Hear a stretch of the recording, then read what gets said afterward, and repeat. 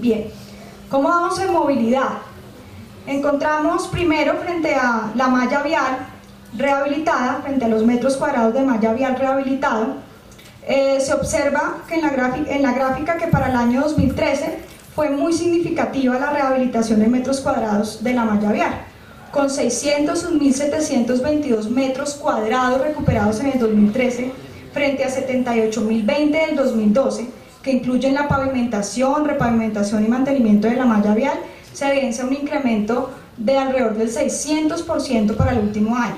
Sin embargo, hay que insistir, que es lo que muestra pues, el, gráfico, eh, la tabla que está en la parte inferior de, de la diapositiva, hay que insistir que más de la mitad de la malla vial de la ciudad al finalizar el 2013 todavía quedó en mal y regular estado y solo una tercera parte, alrededor del 33.5%, quedó en buen estado. Frente a la desagregación pues, por comunas de eh, la recuperación de la malla vial, encontramos que se, se realizó un mayor trabajo de recuperación de la malla vial en las comunas 8, 6, 9 y 7. En contraste, hubo una menor recuperación en las comunas 2, 11 y 4. Sin embargo, la intervención efectuada en vías principales, que no necesariamente abarcan pues una sola comuna, fue de 496.486 metros cuadrados, lo que indica que la rehabilitación de la malla vial en el 2013 correspondió centralmente a las vías principales de la ciudad. En cuanto a la evolución del parque automotor, un indicador que pues está asociado también a distintas áreas de la calidad de vida, encontramos que el parque automotor sigue mostrando una tendencia creciente. Al finalizar el año 2013, la ciudad contaba con 136.521 vehículos matriculados y activos en la ciudad, un 13.2% más que en el año anterior, constituyéndose así en el año de mayor crecimiento desde el año 2008, que es el histórico que mostramos básicamente en la gráfica. Es de aclarar que las cifras pues, del presente informe no, eh, son, o sea, no, no son iguales a los de los informes anteriores en la medida en que la Secretaría también de Movilidad nos manifestó que ha venido haciendo una depuración del sistema eh, de donde se pueden descargar este tipo de datos y eso pues hizo que varios de los años ya evaluados pues también cambiaran digamos respecto a otros años en los que eh, obtuvimos información de la evolución del parque automotor. Frente al crecimiento de los principales tipos de transporte en Ibagué, pues encontramos que la camioneta y la motocicleta, con crecimientos de alrededor del 17%, eh, pues fueron los que mayor crecimiento tuvieron en el año 2013. Eh, coherente con esto, pues también la participación eh, de los distintos tipos de vehículo, pues en la participación se encuentra que la motocicleta, pues es el tipo de vehículo más común y que ha venido realmente mirando los históricos ha venido gradualmente ganando participación, alcanzando para el 2013 una participación del 53,7%.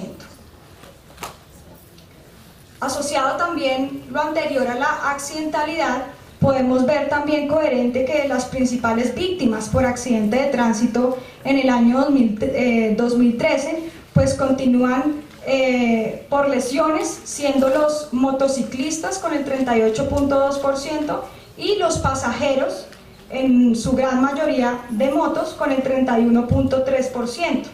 Las víctimas eh, de muerte por accidente de tránsito encontramos que los principales pues, fueron los peatones, con el 45%, y vuelven a ubicarse aquí también en los primeros lugares los motociclistas con el 35%.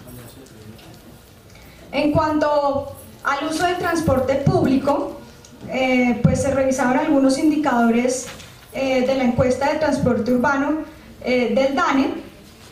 para el caso de Ibagué, aquí lo que nos muestra esta gráfica es que por tipo de transporte, mm, un bus transportó en promedio para el, año, para el último trimestre del año 2013 7.050 pasajeros por mes lo que equivale a alrededor de 235 pasajeros diarios aproximadamente, siendo estos pues los que mayor número de pasajeros transportan en promedio eh, en un mes durante o que transportaron en promedio en un mes eh, durante el último trimestre del año 2013.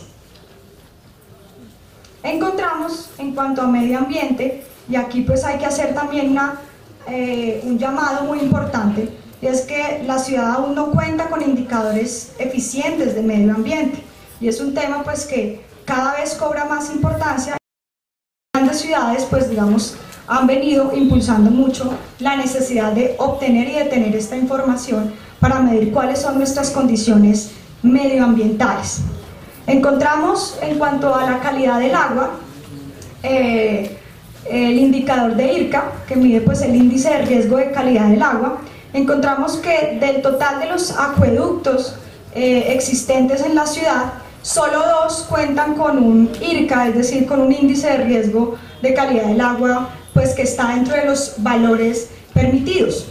Eh, el IRCA del IVAL, que se ubica en un 0,08%, y el acueducto del barrio La Gaviota con un IRCA de 2,96%. Eso quiere decir que son los únicos dos acueductos que están dentro de los estándares permitidos para ofrecer agua apta para el consumo humano. Eh, el rango, digamos, de esta permisibilidad está entre 0 y 5. Eh, no obstante, hay que también aquí llamar, hacer un llamado también con otro indicador que es el índice de agua no contabilizada. Este índice de agua no contabilizada pues solamente lo presenta el IVAL y encontramos que se encuentra en un 42,23%, valor que también supera eh, de manera importante el valor adecuado que es del 30%.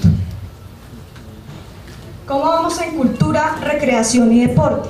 Y un poco aquí también hay que hacer un llamado pues a, a, este tema y es que no solamente los bienes materiales sino los inmateriales pues están asociados también a la calidad de vida. Aquí pues básicamente eh, encontramos frente al uso de la red de bibliotecas públicas de Ibagué que se registró un aumento significativo en el número de usuarios pasando de un total de 111.740 en el 2012 a 185.110 en 2013 eh, digamos, este uso de la red de bibliotecas públicas, en su mayoría, pues, eh, pues los que asisten a estas bibliotecas pues son eh, niños y niñas y en menor medida pues la gente en edad joven asiste a este tipo de, de, bibliotecas. Es importante también tener en cuenta pues, que el aumento de este indicador está asociado a que en la red de bibliotecas se hicieron y se realizaron muchas actividades que no necesariamente están asociadas pues a, la lectura y a, la revisión, digamos, bibliográfica, que pues es la naturaleza de, las bibliotecas, sino que se hacen otro tipo de actividades también recreativas y lúdicas para que los niños asistan aquí a estas,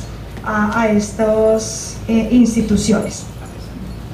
En cuanto al número de afiliados a escuelas deportivas financiadas por la alcaldía, encontramos eh, que para el año 2013 se evidencia una recuperación significativa pasando de 3.876 a 6.163 afiliados a las escuelas deportivas financiadas por la alcaldía. Eso también digamos que se debe a un trabajo que hizo eh, pues el INDRI con los diferentes líderes comunales para hacer pues que más niños pertenecieran y eh, se afiliaran digamos a este servicio de escuelas deportivas financiadas por la alcaldía. ¿Cómo vamos en finanzas públicas? Bueno, en el año 2013 encontramos que los ingresos totales del municipio presentaron un incremento del 17%, ubicándose para este año en 474.865 millones de pesos constantes. Por tipo de ingreso, los ingresos corrientes alcanzaron los 378.657 millones de pesos, cifra que presentó un incremento del 17,2% respecto al 2012. Dentro de este rubro fueron los ingresos no tributarios los que experimentaron un mayor crecimiento con el 20,6%. Por su parte, las transferencias presentaron un incremento del 19% respecto al 2012, alcanzando los 265.196 millones de pesos. Los ingresos tributarios experimentaron un incremento del 13,7% respecto al 2012 y finalmente los ingresos de capital evidenciaron un decrecimiento del 24,5%. Frente a la composición de los ingresos, pues se observa que dentro de los ingresos totales son los ingresos corrientes los de mayor participación, Allí los ingresos tributarios y no tributarios presentan una ligera caída en su participación para el año 2013. Por su parte, las transferencias evidencian un incremento. Los ingresos de capital, con un 13%, son el segundo ingreso que más predomina, a pesar de una pérdida importante en la participación dentro de los ingresos totales de aproximadamente 7 puntos entre un año y otro. De otro lado, los desembolsos provenientes de empréstitos aumentaron su participación debido pues, al crédito de 100 mil millones de pesos aprobado por el Consejo Municipal. Respecto a los gastos, en el 2013 los gastos totales del municipio presentaron un incremento del 17,4% respecto al año anterior, pasando de 375.033 millones de pesos en 2012 a 440.200 millones en 2013. Este crecimiento estuvo principalmente motivado por los gastos de funcionamiento que incrementaron en un 21.1%. Asimismo, la inversión aumentó el 20,3%, mientras que las amortizaciones y los gastos financieros eh, descendieron en un 19 y 17 casi 18% respectivamente. Frente a la composición entonces de los gastos, la inversión ganó participación respecto al año anterior con un 84,8% de los gastos totales. Por su parte, los gastos corrientes tuvieron una participación del 12%. Seguidos se encuentran las amortizaciones y finalmente los gastos financieros. Frente a la inversión, para el caso específico de Ibagué, pues hay que analizarla para saber qué sectores fueron los que predominaron también frente a la inversión. En el 2013, perdón, este rubro experimentó uno de los incrementos más altos de los últimos cinco años. Casi el 85% de los gastos del municipio correspondieron a inversión. Y dicha inversión para el 2013 pues se destinó de la siguiente manera. Y ahí encuentran pues la comparación con el año 2012. En un 43% se destinaron para educación y cultura, rubro que perdió participación respecto al 2012, en un 27% para salud, rubro que también perdió participación respecto al año anterior, en un 5% se destinaron para agua y saneamiento básico, rubro que se mantuvo igual en la participación de la inversión frente al año anterior, y 6% para carreteras, transportes y vías, rubro que aumentó en un punto su participación. El 5% se destinó para recreación y deporte. Este rubro, pues como pueden ver, ganó participación en alrededor de 4 puntos y el 14% para otros, correspondiente principalmente pues a, a, vigencias anteriores que también ganaron una participación importante respecto al 2012. Frente a algunos indicadores entonces de desempeño fiscal que resumen un poco más lo que vimos anteriormente, eh, primero analizamos pues la ejecución presupuestal de ingresos, Respecto a, este indicador, pues se registra, se registra básicamente que en el último año se observó una disminución en 3.8 puntos porcentuales respecto al 2012. Frente a la ejecución presupuestal de gastos, pues lo que vemos básicamente es que en el 2013 se presentó una disminución. También pues se pasó de una ejecución del 92,19 al 88,19 89% en el 2013. Frente a la capacidad eh, de ahorro, encontramos básicamente que durante el 2013 pues se presentó una leve recuperación pasando del 50,65% a un 52,92%. Frente al indicador de respaldo de la deuda, pues encontramos eh, una, eh, un ascenso pasando del 16,60 a un 30,25%. Otros indicadores que también nos, nos, permiten un poco resumir la situación de las finanzas públicas en la ciudad y también pues del desempeño fiscal, eh, pues es, el, es la evaluación del índice de desempeño fiscal que realiza pues el DNP.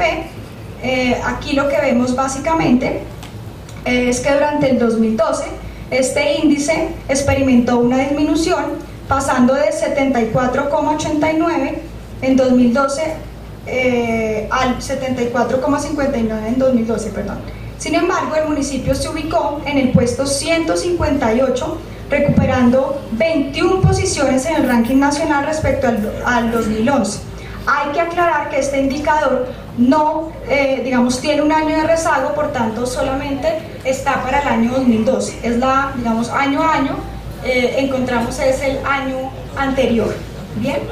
Durante el 2012, entonces, el índice de desempeño fiscal de la ciudad pues experimentó una disminución, como les dije, pasando del 74,89 al 74,59. Entre las ciudades de la red ocupamos el penúltimo lugar con los índices sí más bajos, eh, superados únicamente por la ciudad de Cali. En cuanto al índice de gobierno abierto, indicador que es elaborado por la Procuraduría General de la Nación y que constituye, digamos, una, se constituye como una estrategia preventiva de monitoreo de normas anticorrupción, pues promueve un poco todo el tema de la transparencia.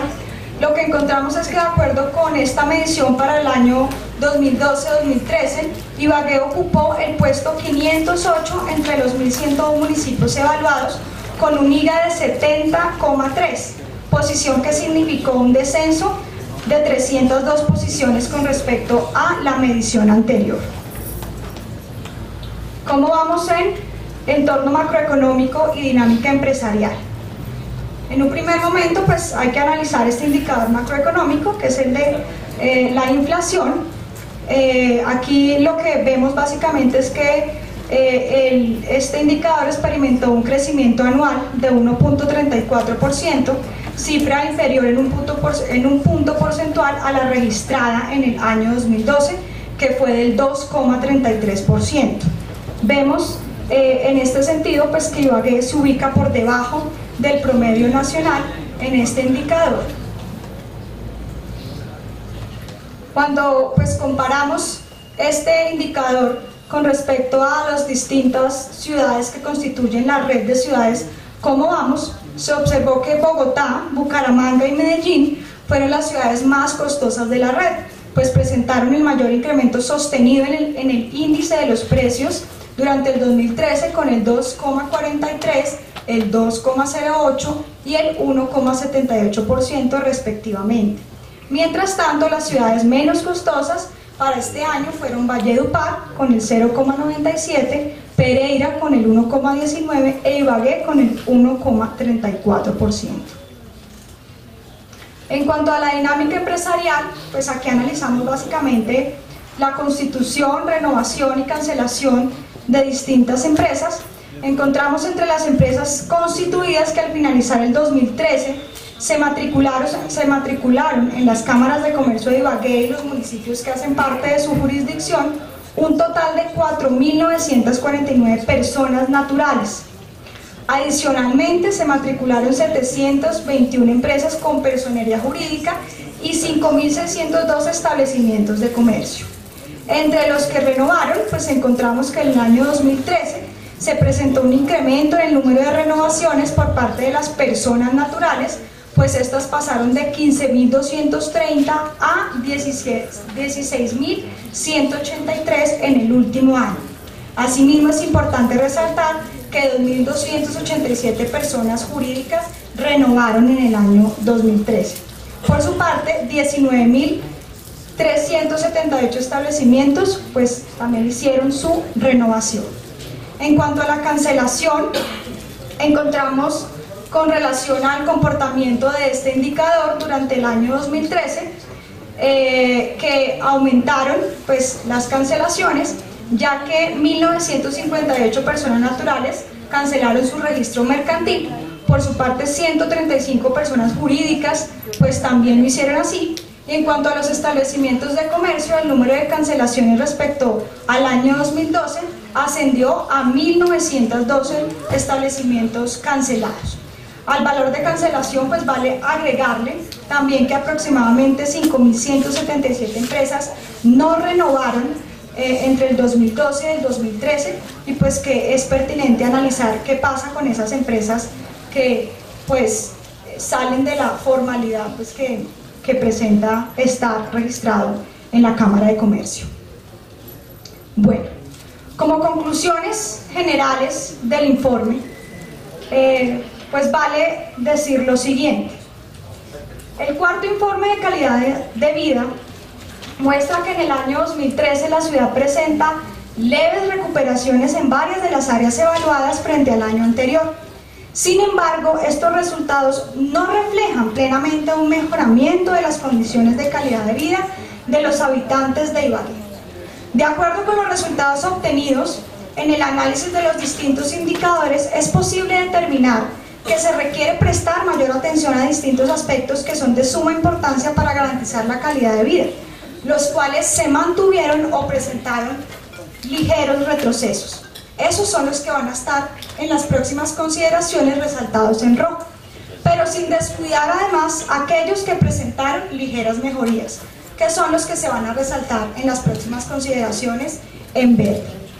Vemos entonces que dentro de los ejes transversales, eh, la pobreza disminuyó, por ejemplo, en casi tres puntos respecto al 2012, pero la desigualdad en términos de ingresos se mantuvo en los niveles observados en el año inmediatamente anterior. Vemos en el área de educación que las matrículas de 0 a 11 en la ciudad se recuperaron en un 1%, sin embargo aún no se compensa la caída del 4,7% que se presentó en el año 2012.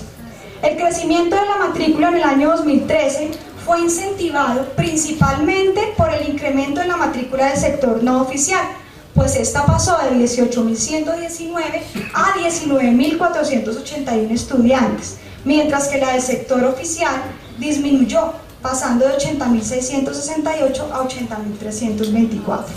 De otro lado, los establecimientos no oficiales continúan teniendo un mejor desempeño en las pruebas saber 11 frente a los oficiales, especialmente en áreas como matemáticas e inglés. Frente a la salud es importante resaltar lo siguiente. Las tasas de mortalidad infantil se mantuvieron, se mantuvieron casi en los mismos niveles del año anterior. Además, las principales causas de mortalidad pues, que se analizan en estos indicadores fueron en su mayoría evitables. El porcentaje de niños con bajo peso al nacer aumentó ligeramente respecto al año anterior. El umbral de inmunidad en el esquema total de vacunación en menores de un año, que tiene que alcanzar el 95%, fue únicamente alcanzado por dos vacunas, la antituberculosa y la, y la hepatitis B. El resto presentaron coberturas que oscilaron entre el 91 y el 93%. En cuanto a la incidencia de VIH, se observó que año a año eh, se han presentado aumentos importantes. En el año 2013 o el año 2013 cerró con un total de 718 casos registrados. A eso hay que prestarle mucha atención. Respecto a la presencia de enfermedades endémicas como el dengue, durante el 2013 se presentaron 5.812 casos y 11 muertes, motivo por el cual esta enfermedad se constituyó como un problema de salud pública durante el año 2013. La cobertura del régimen subsidiado disminuyó en 1.4 puntos, pues, pero en contraste la del régimen contributivo aumentó ligeramente en 0,6 puntos. La cifra preliminar de muertes maternas evidencia que no se presentaron casos en el año 2013. Frente a la seguridad ciudadana, se presentó una reducción importante en la mayoría de delitos de impacto, sin embargo las lesiones personales fueron la excepción, ya que fue el único delito que reportó un incremento en el número de casos correspondiente al 3,3%. Las comunas 8 y 9 presentan simultáneamente cifras muy elevadas de homicidios, lesiones, personal, lesiones personales y hurto a personas respecto al resto de comunas. El hurto a personas continúa siendo el más común entre las modalidades de hurto con una participación del 58%. Y finalmente el número de denuncias por los diferentes delitos de impacto evaluados para el año 2013 se redujeron. Frente a la movilidad, se observó un incremento sustancial en la rehabilitación de la malla vial de la ciudad, especialmente en la que tiene que ver con vías principales y en menor medida en las vías de los barrios. Sin embargo, es preciso mencionar que a pesar de la recuperación, un poco más del 60% de la malla vial eh, de la ciudad en el año 2013 quedó en mal estado y en regular estado, y solo una tercera parte en buen estado. El parque automotor presenta una tendencia creciente, motivada especialmente por el incremento de vehículos como la motocicleta, la cual presenta representa más del 50% del parque automotor de la ciudad. Aquí se resalta en rojo, digamos esto, pues porque eh, así, digamos, el control y la regulación de este tipo, digamos, de asuntos, pues no, no, sea pues en, su totalidad eh, pues fácil de, de, realizar, sí es importante prestarle atención al crecimiento del parque automotor porque afecta a otras áreas de la calidad de vida también. A pesar de la importante reducción en el número de lesiones y muertes por accidente de tránsito, los motociclistas, los pasajeros de motocicleta y los peatones continúan siendo las principales víctimas de estos eventos.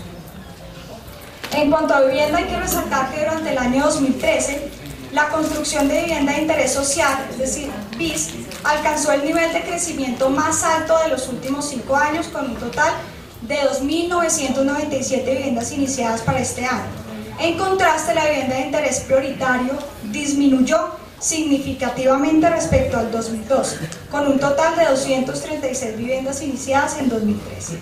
En cuanto a las finanzas públicas, es necesario resaltar que a pesar del aumento en los ingresos totales de la ciudad, en el año 2013 la inversión en estos en sectores claves como la salud y la educación perdieron participación. Por su parte, rubros como recreación y cultura aumentaron su participación dentro de la inversión total del municipio. En cuanto a los indicadores macroeconómicos, encontramos que la inflación en Ibagué para el año 2013 pues evidencia una tendencia decreciente y también si bien se observan crecimientos importantes en el número de empresas nuevas y renovadas, también se evidencia una proporción significativa de empresas canceladas y no renovadas, alrededor de 5.177 177 empresas decidieron no renovar su matrícula, por lo cual es necesario determinar ¿Qué pasa con aquellas empresas que no continúan en la formalidad? En cuanto al medio ambiente, es de destacar pues que del total de acueductos que prestan el servicio de agua potable en la ciudad, solo dos no presentan riesgo sanitario según el índice de riesgo de calidad del agua IRC. El IVAL con el 0,08 y el acueducto del barrio La Gaviota con el 2,96%. Sin embargo, el índice de agua no contabilizada supera significativamente el valor adecuado, que es del 30%, con un índice del 42,2%. Eh, es de resaltar que Ibagué no cuenta con la información suficiente para determinar el índice de calidad del aire. Y finalmente, eh, digamos como una conclusión también general y como un llamado importante desde el programa de Ibagué Cómo Vamos, eh, vemos que a pesar de la receptividad creciente por parte de la administración para aportar la información que se requiere para el análisis, eh, para el presente análisis el análisis de este informe, no se cuenta aún con un sistema consolidado de información que permita un mayor acceso a información pública, oportuna y de calidad, que además posibilite una toma de, decisión, de decisiones adecuadas para la ciudad. Todavía es de reiterar que la recolección de la información, a pesar de que los secretarios, los funcionarios son cada vez más receptivos a ofrecer la información, todavía presenta dificultades precisamente porque no hay sistemas de información eh, organizados, confiables, oportunos y de calidad para la toma de decisiones en la ciudad. Queremos agradecer finalmente a algunos expertos que nos apoyaron en el análisis del presente informe, al Observatorio del Empleo y Recursos Humanos de, la Universidad del Tolima, al profesor Jorge Humberto Renza, Diego Fernando Ramírez, al programa de Administración Ambiental e Ingeniería Mecánica de la Universidad de Ibagué, a, la docente Liliana Delgadillo, al docente Héctor Mauricio Hernández y al programa de Administración Financiera, al docente Luis Carlos Esquivel, quienes nos apoyaron con el análisis de algunos de, estos, de estas áreas. El informe completo como les mencioné, este es un informe pues, ejecutivo, lo pueden descargar a partir de este momento pues, en la página www.ibaguecomovamos.org o en nuestra homepage. Este fue el cuarto informe de evaluación de la calidad de vida desde la dimensión objetiva que analiza el programa Ibagué. Muchas gracias.